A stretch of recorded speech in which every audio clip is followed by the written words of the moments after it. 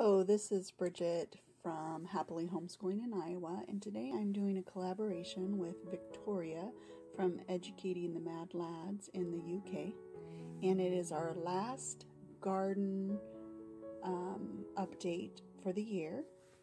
And so I'm going to talk about how I brought my plants inside and how I prepared my garden and yard for the winter. So the first thing I did was go outside on my front porch and assess my plants for bugs.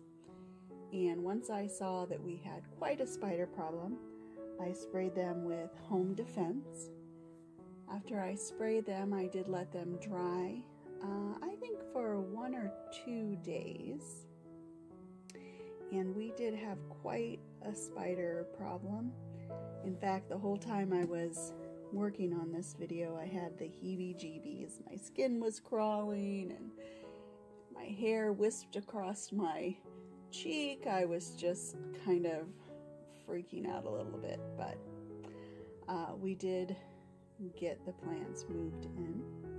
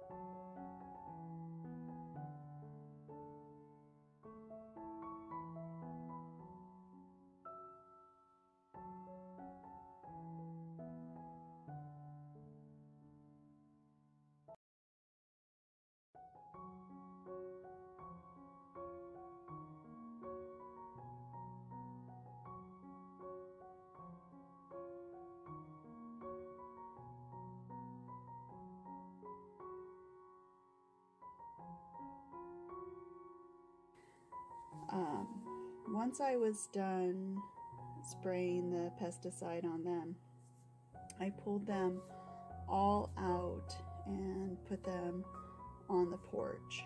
And that what that allowed me to do is take an assessment of any other types of bugs that might have survived the spraying. And it also gave me the chance to be able to clean out the spider webs. As pulling the plants all out, it also gave me time to kind of assess anything that needed to be clipped off, anything that was dying, anything that was overgrowing.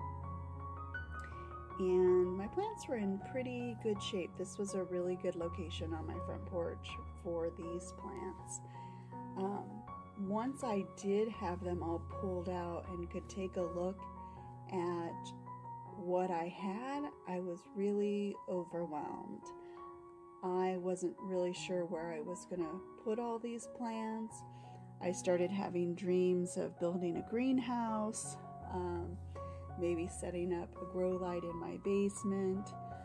Uh, the problem is, is I really like the look of all of these plants, so I wanted to bring them in and winterize them inside and enjoy them in my bay window.